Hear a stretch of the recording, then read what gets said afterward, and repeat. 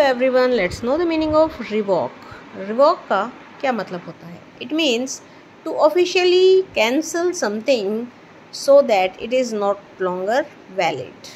to officially cancel something like any rule और regulation जैसे किसी वस्तु आदि को रद्द कर देना ऑफिशियली